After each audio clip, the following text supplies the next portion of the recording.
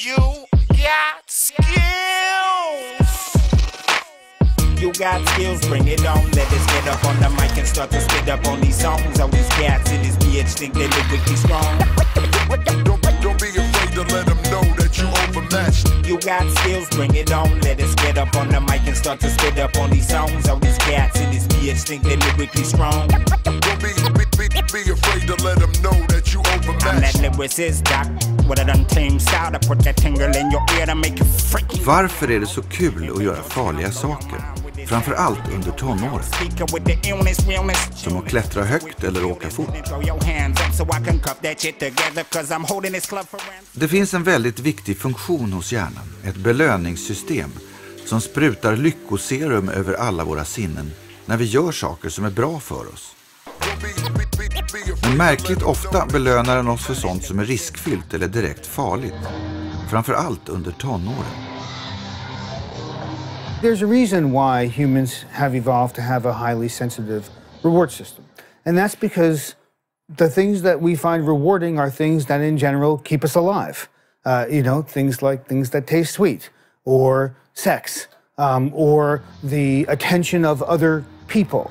And, and we find these things rewarding because we, we wouldn't have lasted as a species uh, if we didn't have these things and if we didn't pursue them. Ja, det var ungefär det jag sa.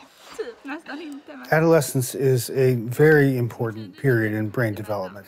There is um, maturation of the prefrontal cortex, the region of the brain right behind the, the forehead. And that's very important for things like uh, complicated thinking and executive function. Hjärnan är plastisk, det vill säga den bygger om kopplingarna mellan nervtrådar varje gång vi lär oss nya saker. Just den här främre delen av hjärnbarken där vi överväger och bestämmer vad som är bra och dåligt mognar inte förrän i 20-årsåldern. A second important change during adolescence involves a part of the brain we call the limbic system.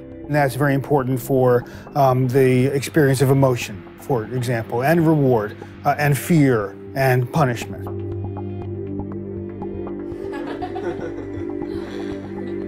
The changes in the limbic system that lead individuals to become more reward sensitive take place early in adolescence, but at the same time that this is happening, we still have an immature uh, prefrontal cortex. So we have immature self regulation, immature impulse control. And so the combination makes this a time of risk taking um, and, and potentially reckless and even harmful behavior.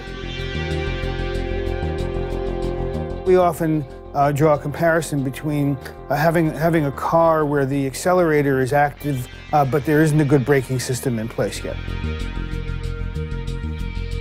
So if you look at crime, for example, which is a very risky behavior, um, you see that crime goes up as individuals move into and through adolescence. It peaks at around 17 or 18, depending upon the crime, uh, and then it declines as individuals mature into adulthood. And what's interesting about this is that this same age pattern is seen all over the world.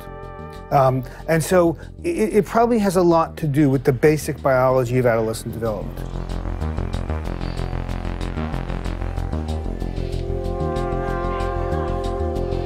Anything that is rewarding has the potential to create an addiction, like gambling, let's say.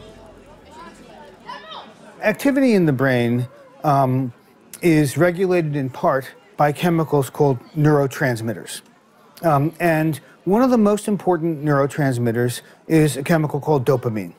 Um, and dopamine is especially important um, in uh, our experience of pleasure or reward. And, and some individuals even talk about uh, a dopamine squirt that we get uh, when we're anticipating something very rewarding, like a good meal, um, or sex, or money.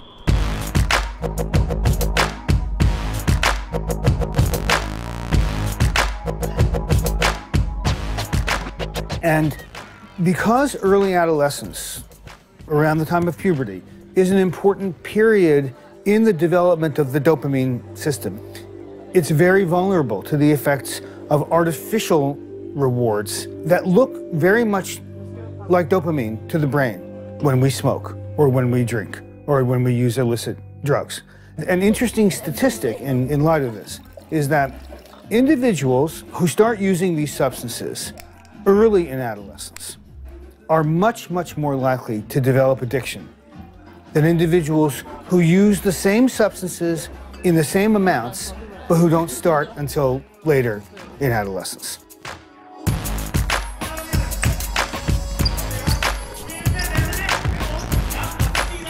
If we think about adolescence um, in an evolutionary context, and think, well, why do we have adolescence? Why does it exist as a part of development? And in other primates, which are our closest, you know, comparison, um, shortly after puberty, most primates leave their family of origin and they venture out into the wild um, in order to find a mate and reproduce. And that's very good because reproduction inside the family would increase the risk for genetic mutations. So it's good that they leave. And so I think that adolescence has been kind of programmed to be a time when people might be more willing to take risks because that was a very important aspect of adolescence at the time that we uh, evolved. The irony is that uh, many of the things that adults wish that adolescents wouldn't do are things that feel good, which is why they do them. I mean, that's right, that's why people use drugs, because the drugs feel good to them. Um, and that's why adolescents want to have sex because the sex feels good to them. And, and, and so, in some senses, our attempts to regulate these behaviors are going against something that is a, a very, very strong biological part of what it means to be a teenager.